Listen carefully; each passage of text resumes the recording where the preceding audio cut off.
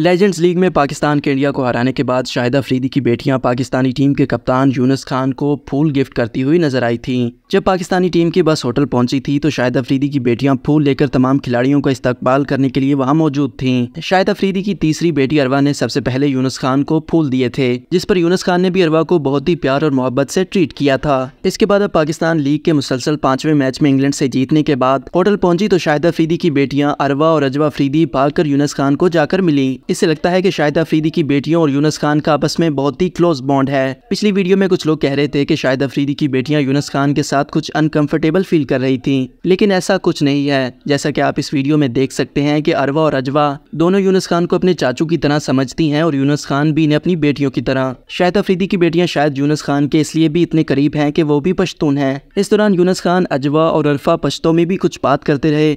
तो जिसकी समझ सिर्फ़ पश्तून को ही आ सकती है। अगर आप पश्तो को समझते हैं तो कमेंट सेक्शन में ज़रूर बताइएगा कि यूनस खान, अरवा और रजवा से क्या बात कर रहे हैं।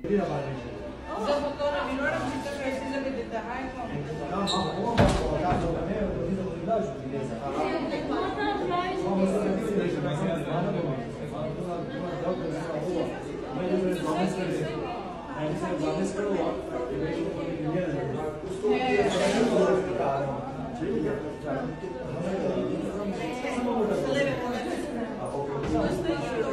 got